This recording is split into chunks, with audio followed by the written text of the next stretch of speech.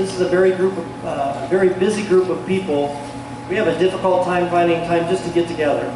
So we, uh, we've gotten very creative this year to, uh, to do that. They've spent uh, one school day touring the elementary schools and the junior high school, taking a program for them. I think their favorite part of the day might have been the pizza at lunch, but I'm not sure about that.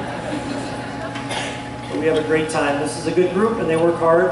And um, so please enjoy. The first number will be cute. It's not very loud, so you'll have to listen very closely. Cute.